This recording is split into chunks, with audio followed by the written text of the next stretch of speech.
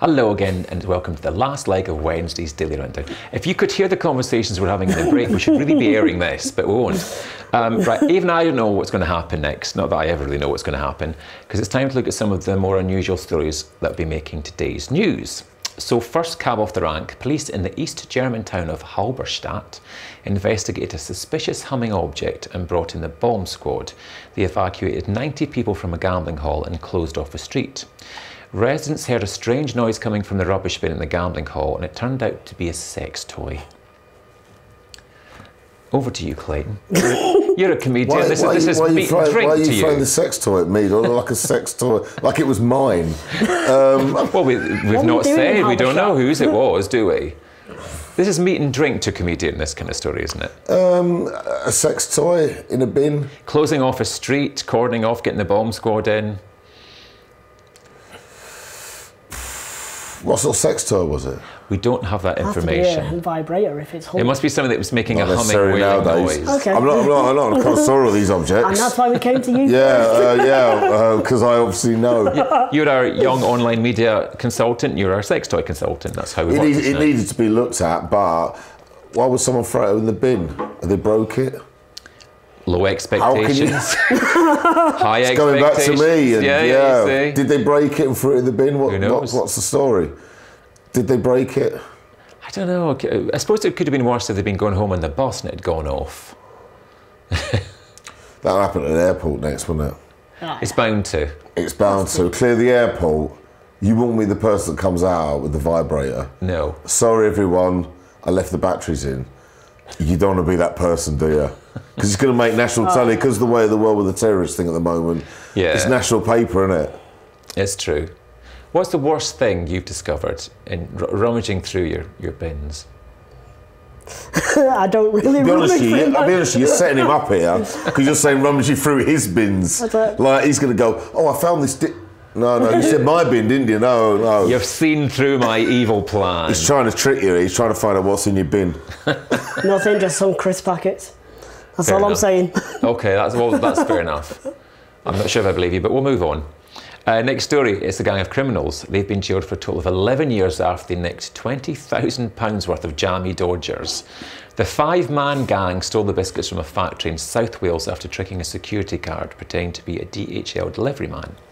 Their sentences ranged from 12 months to 44 months, and the biscuits were never recovered. Would you do time for a Jammie Dodger? No. No. What No. chocolate bar would it take to up the ante for you to, you know, Milky Ways. Milky Ways, right, okay. Love Milky Ways. Can, s- sorry, can I just say something here? I don't think they were stealing them to eat them all. you know, Well, I don't, What, The we way don't know. I don't think they went into court like, ah, where are they? I don't know. I think, I You, you think take a few for yourself, then think- sell on the rest. Yeah, yeah, you would have to. yeah, you might steal them, you might not want them. True. So I mean, if you want, if you were going to steal them, just do them from the shop, not a big crate load from a. From So the here shop. they are. You you walk along the street. It's happening, you know, mid-crime. The van's open, and all you see is thousands of Milky Ways. Would you uh, be tempted? Do you like Milky Ways? I love Milky Way. I think they're a rip-off. Because they're there's nothing in them. I love them. I like something heavy. You feel like you got your money's worth. They're a bit. They're like they're like before a Mars bar. I'll have a Milky Way to get myself ready. Do you Like know what I mean? Milky Way Milky Way jar. jar. Yeah, It's a yeah, like, bush. like a salad, Yeah.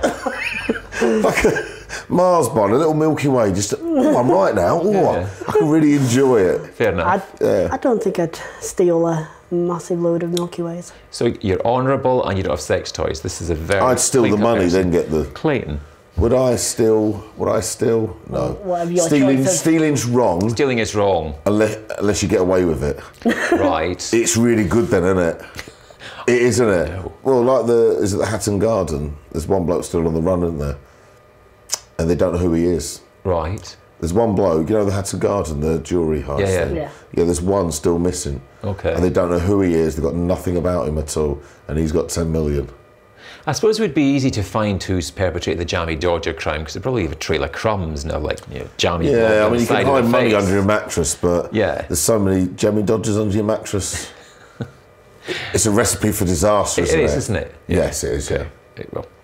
We'll leave that one there and go on to our next story, and it's about investigators. They're spying on the pictures of boastful rich kids on Instagram to see if their parents are hiding costly assets such as planes or yachts in order to dodge tax or divorce payouts. Um, that seems like we're back in the previous story now. Checking kids' Instagrams to see what's in the background if daddy's got a yacht and hasn't declared it.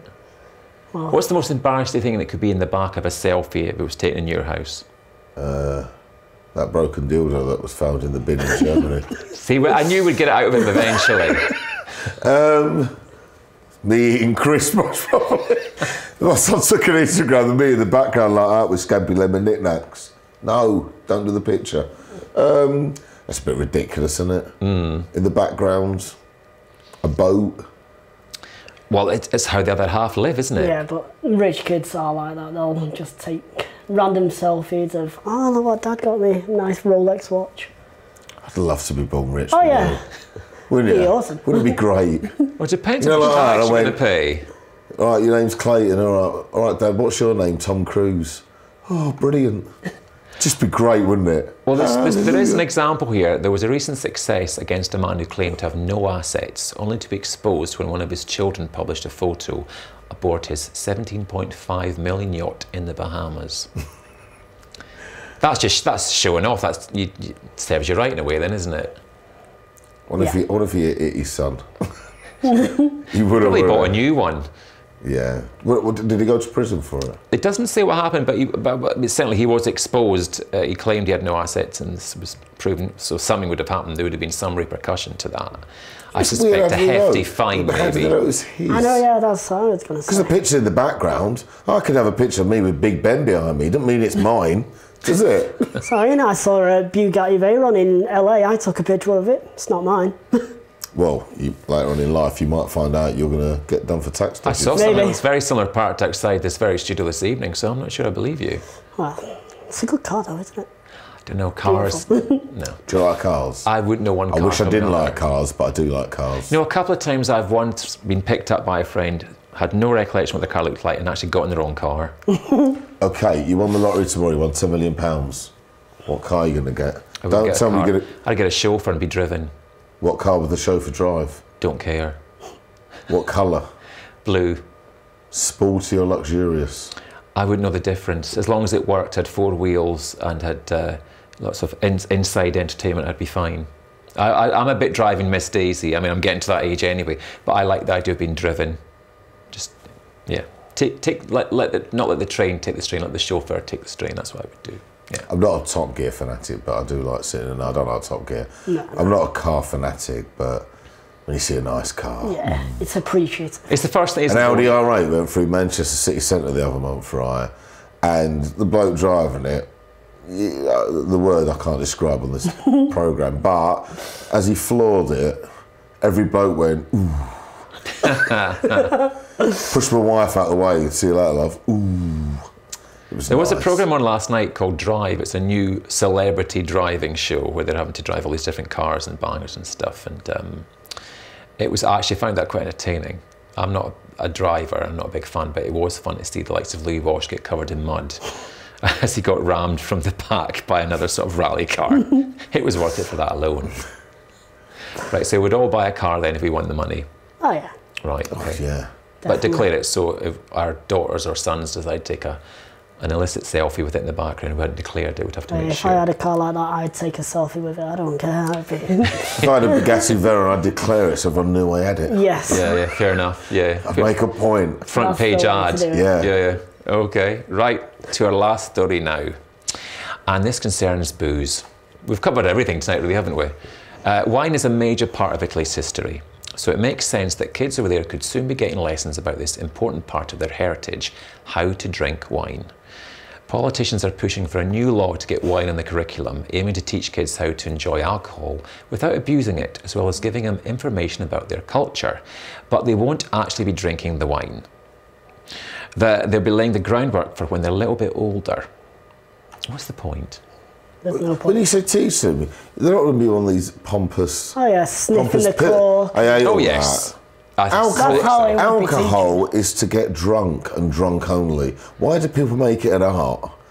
It is an art form It's in, not. in Italy. It's, I think for If, you- wine, if I bring wine home to a wine, I've got this wine. I've done this before. I've got this wine here. and She's like, it's only three percent. It's low alcohol. Oh, I didn't realise. You'll have to take it back. Surely, orange juice. You don't get drunk of orange juice, but it tastes nice. But wine is part of the heritage, heritage of that country, so it's it's encouraged them to learn about the history of one of their biggest exports. You're not convinced, are you? No, it's just it's alcohol's to get drunk. Okay. Yeah. There's no other. There's no other. This I've been out with couples of four, and me, I'm a. They're like. So it could be uh, anything. Bouquet, or whatever. Just It knock could be it back. tart's mess as long as it gets you drunk. That's all. Well, that's what it's for, isn't it? Yeah, Take what alcohol out of Yeah. it. What's the point of having it? Do you agree? Yep. So like, there's no, Alcohol's no get need. drunk. You're half cut now, aren't you? Yeah. I've not had way. a drink for a few weeks. I'm not teetotal, but I just have the occasional one now and again. But like I say, if I drink, I'm there to get drunk. so it's not meant to be seen as a cultural thing. It's meant to be as a way to get from A to well L. Yes. Okay, fair enough. Well, I think we've learned a lot about you this evening. I think so. May- maybe I've learned we a lot would- about myself, actually. It's almost like therapy, hasn't it? yes, it has actually. Well, we'll, we'll join hands and talk about this again another time, but we've got to leave it there. Thank you to all my guests this evening Clayton Jones, Chris Grogan, and Nicola Gleave. Dan is back tomorrow with Thursday's Daily Rundown. So, from everyone here, it's good night, and we'll see you again soon. Night night.